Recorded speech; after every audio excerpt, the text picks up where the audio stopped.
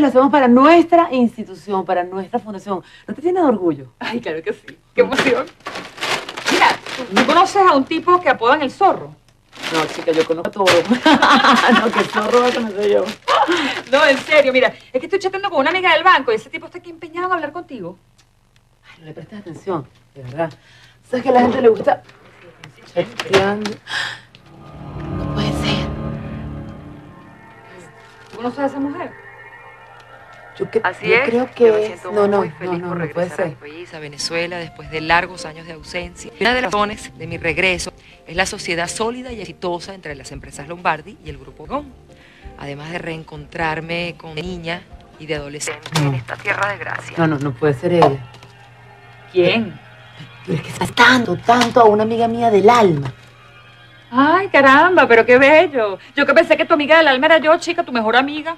Ya, Jaira, ¿estás celosa? Sí. Tan grandiosa. Chica, no, una amiga mía del alma de mi infancia, de verdad, cuando éramos chiquiticas. Ningún, No, ninguna amiga del alma ni nada. Tu amiga del alma soy yo, ya te dije. Mira, mira, Miranda. Este hombre, este zorro, está empeñadísimo en hablar contigo, este tipo. Qué insistente. Ven acá. No, no es. Ay, chica, que yo no sé quién es. Dichoso zorro. Aquí está. curioso es. Ay, mira. Uy. A ver, vamos a averiguar quién es el zorro. ¿Cómo se siente de regreso en su natal? ¿Está contenta de volver? Desde luego, han pasado tantos años. Tengo tantos recuerdos. Bueno, estoy removida por dentro. Bueno, espero que sean más los buenos que los... Sí, sí, la verdad. Ah, muy feliz. Tuve una amiga, una amiga muy linda, de esas que entran en ningún lado, en ninguna parte. Pero la verdad tiende a idealizar la infancia. Así opinan los psiquiatras. Eh, precisamente le presento a mí, a la doctora Claudia Fernández. Encantada. Igualmente, mi novio, Tosito, dice eso porque en realidad es mi trabajo, yo soy psiquiatra. Y es verdad, la mente tiende a censurar y pues también idealiza a otros. Hay mucha gente que dice que su infancia fue la mejor, realmente felices, pero ahí es donde se originan los problemas que después marcan nuestra personalidad, obviamente. Verdad, pues no había pensado en eso. Por eso volví. Por los recuerdos. ¿Y ahora qué quieres, Raiza? ¿Qué te hice para que me hayas ignorado y no hayas tenido la cortesía de invitarme al recibimiento de la ayuda de Ocúpate de tus trapos, por favor. Tú no tienes nada que ver en los asuntos de la empresa.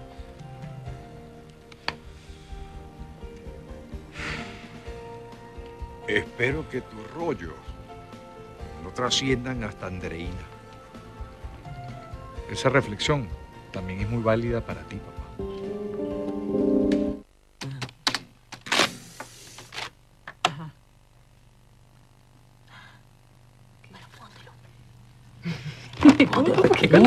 Bueno, Ah,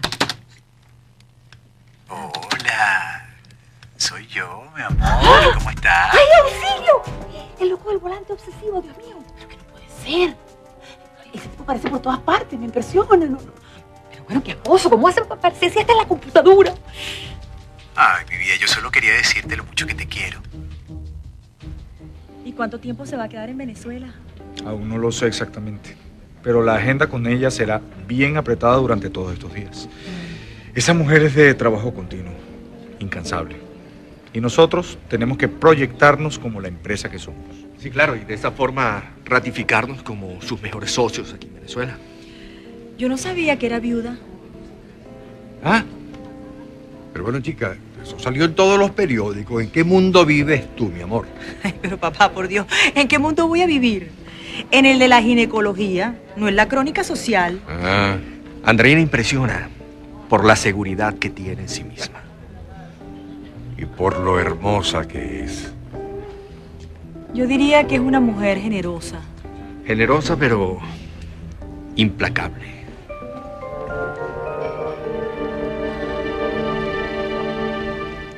Miranda, yo no sé vivir sin ti. No me abandones, por favor. Yo, yo estoy solo, solo. Yo, yo no tengo familia, no, no tengo hermanos, Miranda. Mi mamá Teresa es una mujer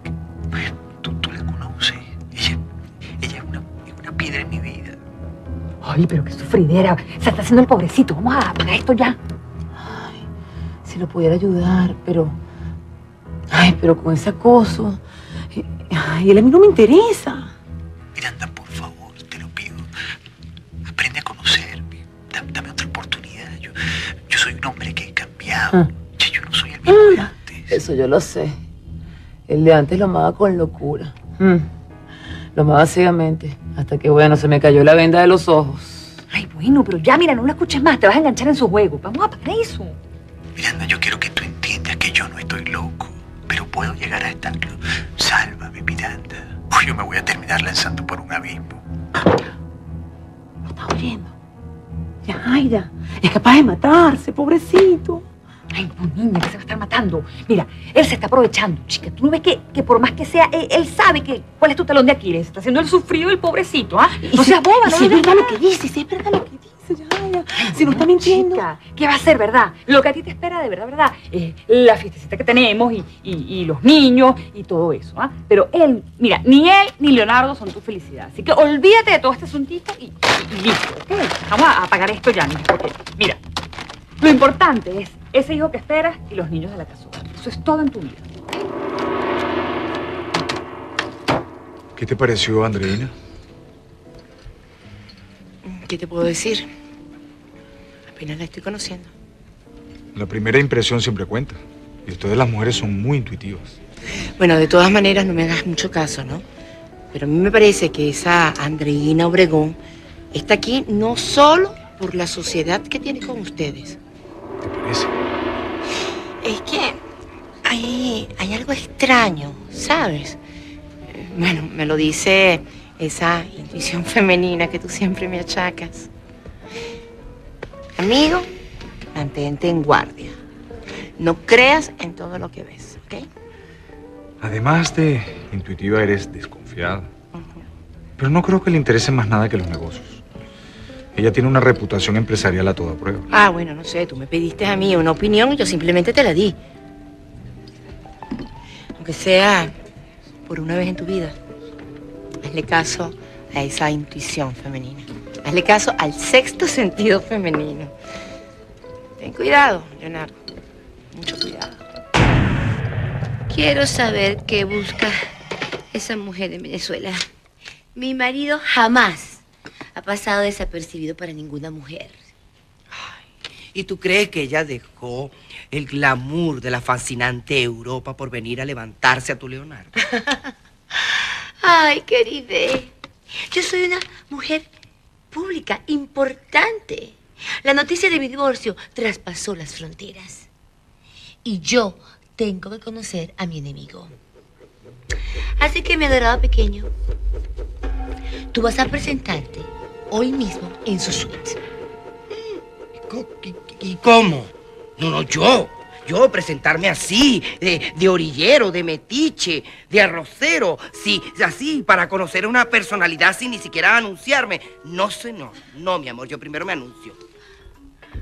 Pero, mi amor, si tú eres tan, tan, tan personalidad como ella, Gregory Lockhart, eres un diseñador internacional. Y ella se va a sentir muy halagada porque tú vas a ir personalmente a extenderle una invitación a nuestro prestigioso atelier. Bueno, la verdad es que viéndolo desde ese punto de vista, pues bueno, sí es más glamoroso. Será, será, será una exhibición privada, especial para ella. Me interesa sobremanera hacerme su amiga. Quiero averiguar a qué vino y de paso sacarle un buen dinero. Así que muévete, mon petit. Ve a verla al hotel. Bien, aquí estamos, primo. Trata de relajarte, ¿quieres? ¿Mm? Yo sé que es duro para ti este regreso después de tantos años. Y retomar todo lo que pasó, pero relájate. He esperado este momento todos estos años de mi vida. Raimundo Lombardi no sabe el infierno que le espera. rellenar